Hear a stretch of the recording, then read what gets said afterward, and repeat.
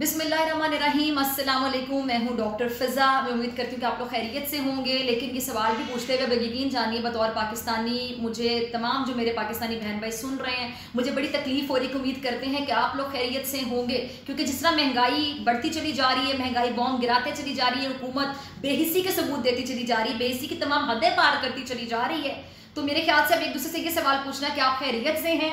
उम्मीद करते हैं कि आप खैरियत से होंगे। सवाल भी पूछते हुए थोड़ी सी एक झिझक सी महसूस होती है लेकिन जो महँगाई कर रहे हैं, उनको झिझक महसूस नहीं हो रही। उनको शर्म नहीं आ रही है। अच्छा उनको शर्म ज़्यादा क्यों आनी चाहिए? मैं बताती हूँ। बड़ी जल्दी थी। इमरान खान साहब की हुकूमत को घर भेजने की। बड़ी जल्दी थी कि किसी तरह से पीटीआई वाले घर चले जाएँ। बड़ी जल्दी थी आकर इकदार की कुर्सियों पर बैठने की। वो बचपन में हम खेलते थे म्यूजिकल चेयर कि सबसे पहले जो दौड़ लगी होती थी तो म्यूज़िक जैसे बंद होता था तो जिस जो बंदा जल्दी से कुर्सी पर बैठ जाता था तो दूसरा कुर्सी पर बैठने की कोशिश करता था। तो हमारी पंजाबी में कहते हैं कि सीट एने मल ली तो वो सीट मलने की जल्दी होती थी कि जल्दी से ये ना बैठे, मैं बैठ जाऊँ अक्सर उसमें जो दूसरा बैठने वाला होता था, वो गिर भी जाता था। ये बिल्कुल एक म्यूजिकल चेयर आप समझ लीजिए कि इतनी जल्दी थी इनको। इमरान खान जाए और हम आके बैठ जाए। अच्छा बड़े दावे थे। जब भी पीडीएम इतिहाद बना था गैर फितरी था था गैर फितरी इस तरह था कि एक दूसरे की शक्लें देखने को ये लोग राज़ी नहीं होते थे। इसने उसको सड़क पे घसीटना था, किसी ने किसी के साथ जन्नत में भी जाना पसंद नहीं करना था। वो भी उनको गवारा नहीं था कि हम इनके साथ जन्नत में चले जाए। यानी इस काबिल भी नहीं लगते थे। किसी ने पेट में छुरी मारकर पेट से पैसे निकालने थे। ना जाने क्या क्या दावे थे, ना जाने क्या क्या बातें लोग करते थे। कोई इनको माजी याद करवाए जरा। लेकिन वही बात के जब आप को शर्म ना आए, जब आप झिझक महसूस ना करें, आप बड़े बड़े दावे करने के बाद आ जाएँ बड़े बड़े वादे करने के बाद आ जाएँ और बाद में आप उस बंदे से ज़्यादा टफ टाइम आप दे रहे हैं, महँगाई में जिस पर आप तनकीद करते थे, महँगाई के एक कार्ड को कैश करवा के जी इमरान खान साहब ने महँगाई बहुत कर दी, नौकरियाँ नहीं दी घर नहीं दिए, जो वादे किए थे पूरे नहीं किए। अब आप मुझे बताएँ कि आप लोग क्या कर रहे हैं? आपको आए हुए कितना अरसा हुआ और आपने पेट्रोल कितना महँगा कर दिया? अब आज यार आपने मिफ्ता साहब को सुना होगा, आज मिफ्ता साहब से एक सवाल जब पूछा गया क्योंकि ये बातें भी अब गर्दिश करी कि पेट्रोल अभी और महँगा होना है। मेरे ख्याल से मुझे भी हसन हुसैन नवाज़ साहब की तरह मरियम नवाज़ के भाइयों की तरह कहना चाहिए, माशाल्लाह, अल्हम्दुलिल्लाह, कि अभी पेट्रोल और महँगा होने वाली पहले तीस रुपए का झटका दिया, फिर दोबारा तीस रुपए का झटका दिया, अब जरा और झटके देने की तैयारियाँ कर रहे हैं। अच्छा उनसे जब सवाल पूछा गया, एक तो मुझे उनके कहके पर बड़ी हैरत हुई कि अवाम का दिल जल रहा है, अवाम तकलीफ़ से गुजर रही है, महँगाई जो है वो इतनी होती चली जा रही है। किसकी तनख्वाहें बढ़ी हैं यहाँ पे? यहाँ पे जो लोग बेचारे मुलाजमीन हैं जो नौकरियाँ कर रहे हैं, जो जो आप देखें कि जो डेली वेज, वेजर्स हैं, डेली वेजेस पे काम कर रहे हैं, मजदूर तबका जो है, तमाम लोग, मिडिल क्लास तबका इस टाइम पे पिस रहा है। मैं मजदूर तबके की बात करें, वो बेचारे तो वाकई पता नहीं किस तरह ज़िंदगी गुजार रहे होंगे, यकीन कीजिए कि वो पता नहीं वो पंखे का भी बिल कैसे दे रहे होंगे एसी तो वो लोग अफोर्ड नहीं कर सकते हैं। एक तो गर्मी में सिर्फ़ पंखे में रहते होंगे उस पंखे का भी बिल पता नहीं कैसे देते होंगे। इतना आप लोगों ने हर चीज़ को महँगा कर दिया। आप उस टाइम पे हंस के, मुस्कुरा के, पता नहीं उन लोगों की तकलीफ़ में इजाफा कर रहे थे, लेकिन आपको लग रहा होगा कि शायद आप उजाला कर रहे थे, आप मरम पट्टी कर रहे थे। ये तो आप लोगों का मसला है कि आप लोग समझते नहीं है कि किसी की तकलीफ़ को आप लोग बढ़ाते कैसे अपने अंदाज से। ज़रा फ़िक्र नहीं करते आप बेहसी की हद है कि आपने वो सवाल सुना होगा।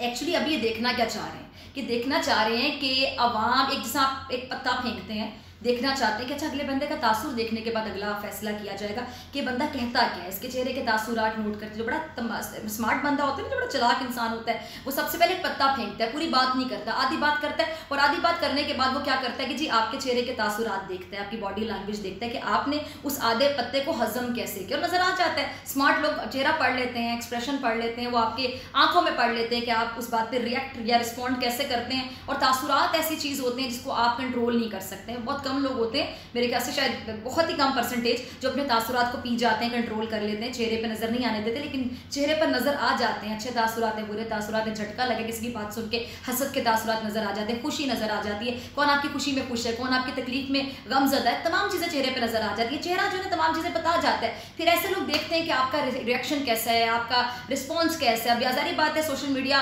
पर आप देखते हैं ट्रेंड्स चलना शुरू हो जाते हैं तो लोग अपनी अपनी राय का इजहार शुरू कर देते हैं। फिर पता चलता है कि अच्छा इस पर तो हम ज़्यादा सीख पाओ गई इस पर थोड़ा कम रिएक्शन दे रही है। तो देखना, वो चाह रहे थे कि आवाम अब ये झटका जो है, महँगाई का मजीद कितना बर्दाश्त कर सकती है? अभी डोज है, या हमने सिंगल डोज देनी है या हमने एक एक दफ़ा डबल डोज दे देनी है? तो अब ये और मजीद महँगाई करेंगे। मेरा तो मौलाना साहब से बड़ा एक गिला है तो मुझे मौलाना साहब नज़र नहीं आ रहे। कहाँ पे, कहाँ है मौलाना साहब आप? आपने इस गैर फितरी इतिहाद को लीड किया था। पीडीएम इतिहाद बनाने का सेहरा किसके सर जाता है मौलाना फजलुरमान साहब के सर? महँगाई पर आप बड़ी बातें करते थे इमरान खान साहब की हुकूमत पर। आई के वाले से आप कितनी तनकीद करते थे? अब ये जो हुकूमत है क्या कह रही है? आपको नज़र नहीं आ रहा? ये हुकूमत महँगाई करती चली जा रही है। आई एम एफ़ के आगे जाना आई एम एफ़ लेट ही गई है हुकूमत। आपको ये चीज़ नज़र नहीं आ रही, आप तनकीद नहीं कर रहे। अच्छा हज के हवाले से ये जो सरकारी खर्चे पे तो सरकारी मुलाजमिन हज करने के लिए जाएँगे मुझे बताएँ कि हज आम बंदे के लिए इतना महँगा हो गया कि एक मिडिल क्लास बंदा, पहले भी मिडिल क्लास लोग ही हज कर सकते थे, या फिर अपर मिडिल क्लास एक गरीब आदमी तो हज करने का सोच भी नहीं सकता जितना महँगा है। आप मुझे बताएँ कि एक मिडिल क्लास बंदे के लिए भी हज करना क्या उतना महँगा नहीं? तस्वुर होना शुरू हो गया कि इतना महँगा हज हो गया कि एक मिडिल क्लास बंदा भी सोचेगा कि मैं कर सकता हूँ या फिर मैं नहीं कर सकता हूँ। आप ऐसे में कोटे दिखा रहे जी, ये ये जो सरकारी मुलाजमीन हैं उसका बावरची ड्राइवर, गनमैन, ये क्या चल रहा है मुल्क के साथ? कोई पूछेगा? कोई तनकीद करेगा? मैं तो मौलाना फजल साहब आपसे पूछ रही हूँ कि पहले आप बड़ी तनकीद करते थे, इमरान खान साहब की हुकूमत पर तनकीद करते नहीं थकते थे। कोई ज़रा एक फैसला लिया जाता था, मुश्किल फैसला तो आप उस मुश्किल फैसले पर आ जाते थे प्रेस कॉन्फ्रेंस करने के लिए, धुआंधार खिताब करके चले जाते थे। अब आप प्रेस कॉन्फ्रेंस नहीं करते हैं। अब आप इतिहाद क्योंकि मतलब जारी बात है, आप, आपको ही सेरा जाता है। आ, आपके आपने ये इतिहाद बनाया था गैर फितरी अब आप किस मुँह से करेंगे जाके तनकीद? उन पर दूसरी बात है चार वजारतें जो मिल गई। मेरे ख्याल से वो चार अदद वजारतें हैं। बहुत बड़ी चीज़ है। किसी को चुप करवाना हो तो आप उसको चार वजारतें देते हैं। किसी को चुप करवाना हो तो चार अदद वजारतें बहुत है। उस बंदे का जमीर जो है वो सोया रहेगा।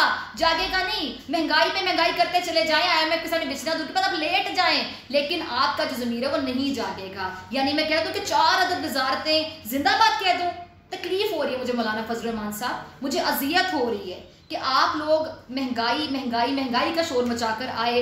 वो तो बाद में फिर इमरान खान साहब ने जो या पीटीआई के जो बाकी लोग हैं, उन्होंने पूरी कहानी सुनाई। वो ख़त का मामला वो जो साजिश का मामला, मुदाखलत का मामला। लेकिन आप लोगों ने जब पीटीआई में इतिहाद बनाया था, तब कोई साजिश, तब कोई मुदाखलत, तब ऐसी कोई बात आवाम के सामने नहीं रखी गई थी।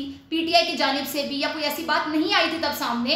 वो तो तमाम मामला फिर बाद में खोला गया। इमरान खान साहब की जानब से, पीटीआई की जानब से। लेकिन जब आप लोगों ने इतिहाद बनाया था, जब पूरा गेम ऑन कर दिया गया था तो वो बना था महँगाई की बुनियाद पे। याद होगा आपको सुनने वाले जितने भी लोग मुझे सुन रहे हैं कि महँगाई है महँगाई है महँगाई है पीटीएम इतिहाद बने। ये जो पीटीएम इतिहाद है कि आवाम को महँगाई से छुटकारा दिलाएँगे, इमरान खान से छुटकारा दिलाएँगे। मैं अब आपको याद करवाना चाहती हूँ। कि बहुत महँगाई है। जिस महँगाई से छुटकारा दिलाना था आपने, वो महँगाई तो आप लोग बढ़ाते चले जा रहे हैं। तो फिर ये बेहिसी की हद है, ये दोहरे मैार की हद है। अच्छा दूसरा, मुझे कुछ लाइनें याद आ रही थी। मैंने आज अपने प्रोग्राम में भी ये कहीं मैं ये तमाम जो सुनने वाले हैं अपने जो तकलीफ़ है उसको बयान करना चाहूँगी इन दो लाइनों में। एक बार वक्त से लम्हा गिरा कहीं। एक बार वक्त से लम्हा गिरा कहीं, वहाँ दास्तां मिली, लम्हा कहीं नहीं। मैं हाथ जोड़ कर गुजारिश करती हूँ कि एक एक लम्हे की कीमत को जानिए। जितनी जल्दी इलेक्शन करवा दिए जाएँ, उतना बेहतर होगा। क्योंकि जब लम्हे की कदर हमें नहीं पता होती, वो लम्हा घंटों में तब्दील होता है, घंटा दिनों में तब्दील होता है, दिन हफ्तों में तब्दील होते हैं, हफ़्ते महीनों में तब्दील हो जाते हैं। और फिर एक बार वक्त से लम्हा गिरा कहीं, वहाँ दास्तान मिली, लम्हा कहीं नहीं। सब्सक्राइब करें और बेल दबाएँ ताकि कोई खबर रह न जाए।